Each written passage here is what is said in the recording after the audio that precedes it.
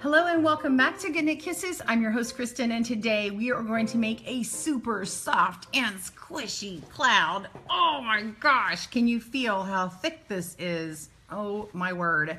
Okay, so it has this really cool pillowy edge here. It's super squishy and soft. It is made with the Bernat Blanket Big Yarn. And this is the, the white color. This is a, um, vintage it's, it's called vintage um, in the Bernat baby blanket yarn it's called vintage white so it matches that. And then I'm I've got it worked up here in the country blue color which is color 26016 and um, you can also get um, other big yarn like this. Um, this is a jumbo size 7 um, and it comes with um, the balls are 300 gram balls or 10 and a half ounces. They're 32 yards. There's other balls of other brands with 28 yards. Uh, this is gonna take you about, um, I would get three balls just in case.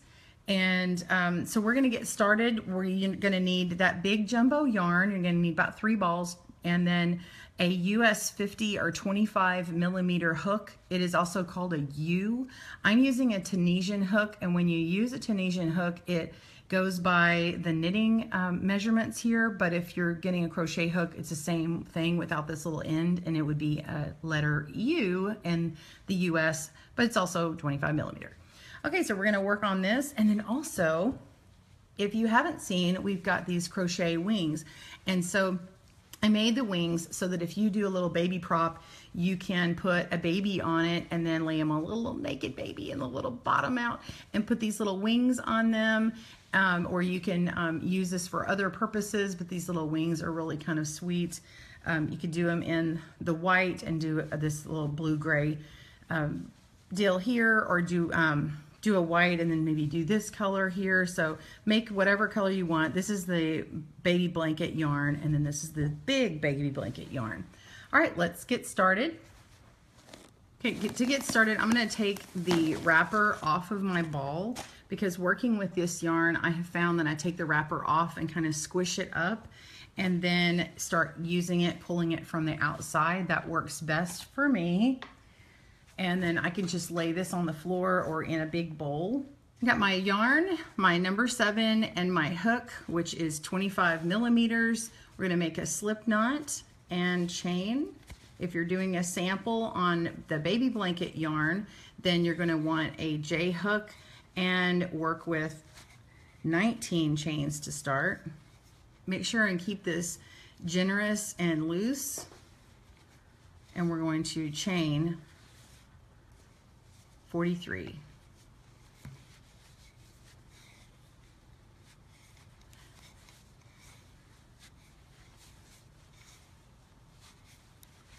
Keep going and I'll meet you back at the end.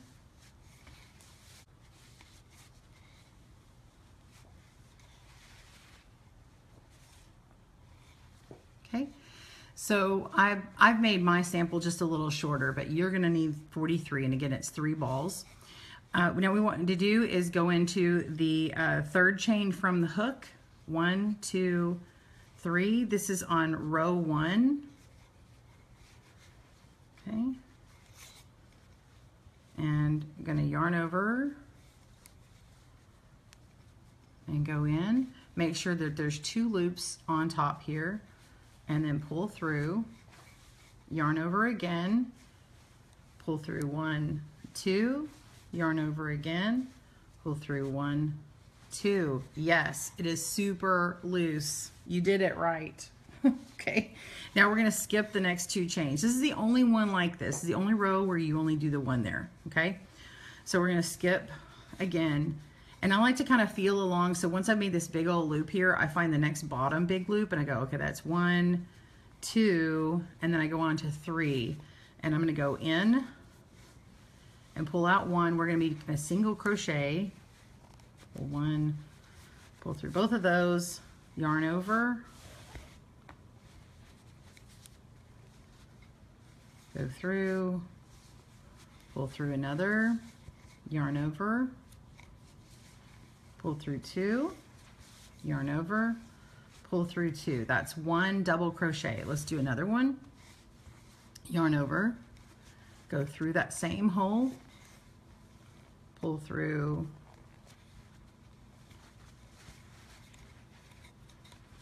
Yarn over, pull through two, and yarn over, pull through two, okay?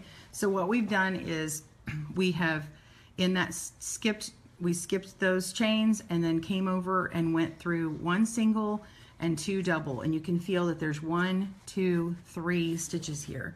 Now we're gonna move on. I'm gonna skip down. You have a multiple, by the way, you can change sizes on this. So your multiple is two plus three. So make your number divisible by two and then add three.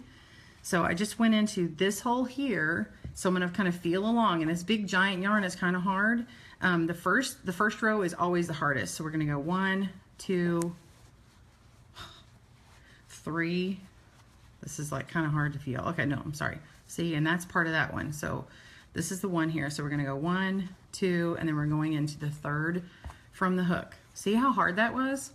So once you get this first row down, I promise when you when you do the next one, it's going to be so much easier because it's very clear where you go. Now we did the single crochet and we're pulling through a double into that same hole. Make sure that your foundation row doesn't get twisted up. Make sure it's always at the bottom. Pull through one, two, yarn over, pull through two. Okay, that's a, that's a single and a double. One more, yarn over, go through, pull through one. Make sure this is on the bottom. Pull through one, two, and one, two. Okay, there it is. That's your textured stitch. Now we have this little area here left. Okay, so what we're gonna do is um, go into this last hole, make sure that this little stitch, so it looks like three big loops. You're like, which one is it? Well, it's this lower really loose one, and then these two are gonna be on top and your little snip, slip knot is at the end. So we're gonna go straight through and do one single crochet. Pull through, yarn over, and pull through one here like that, okay? So it is gonna be a loose end, and this will end up working out towards the end. Okay, so now we're gonna do row two. Row two is very, um, very simple. Once you get going on this crochet, it seems really difficult, but I'm telling you, once it starts going, it, it actually really flies and it works up really fast. I mean, this is like three or four inches right here. That's huge. I mean, look at my hand. So we're gonna chain up. This is row two, chain one, two. This serves as a single crochet. We're going to turn it around and do a double crochet into this first hole right here.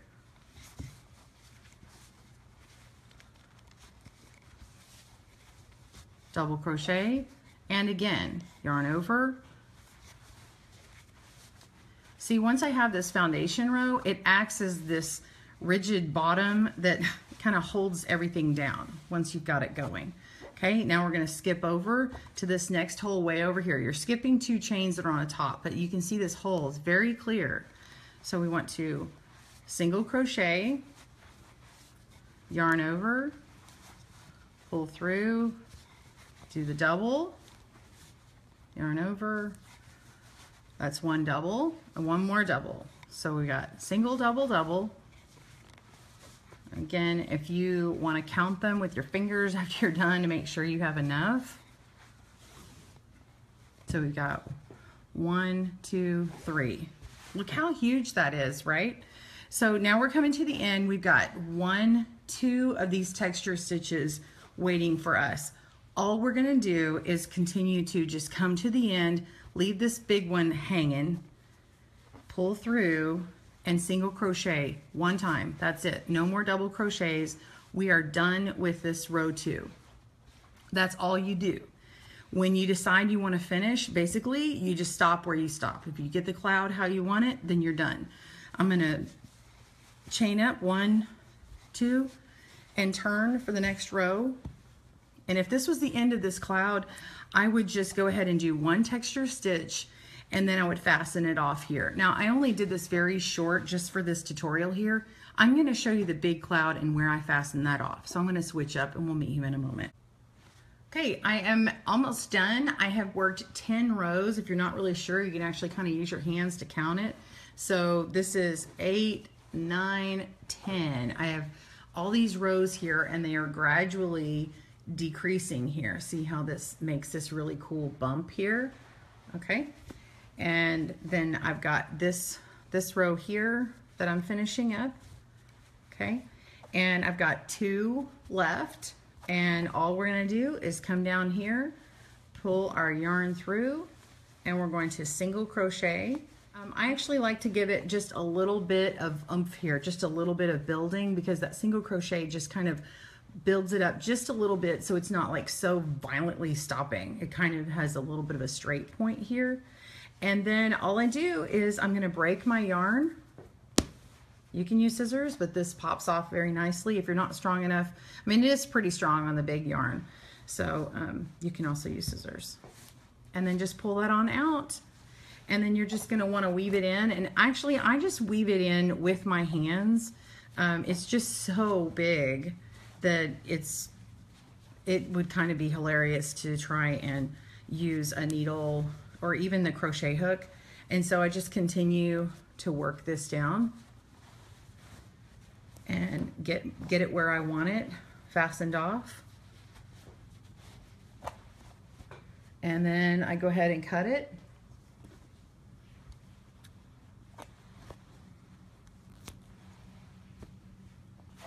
And now it is all done.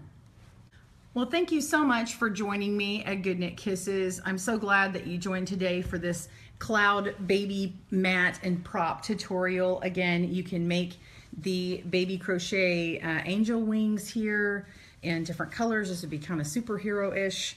Um, you could even make them um, as a little butterfly, whatever you want to do. Uh, the clouds can be made on the smaller blanket yarn and um, maybe even put on a blanket and have lots of little clouds hanging around and little angel wings. So just use your creativity. You are a creative person. You were created to be creative. So I hope you have a great day and happy crochet. Bye-bye.